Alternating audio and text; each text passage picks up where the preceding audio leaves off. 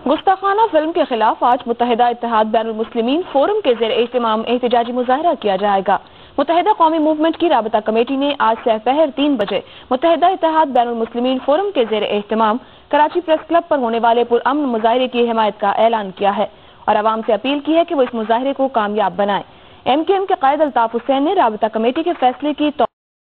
Forum के मरकजी रहनुमाओं और उलमा कराम ने तमाम मकातब फ़िक्र से ताल्लुक़ रखने वाले उलमा और आशिकान रसूल सल्लल्लाहु अलैहि वसल्लम से अपील की है कि वो इस मुजाहरे में शरीक होकर आशिक रसूल होने का सबूत दें।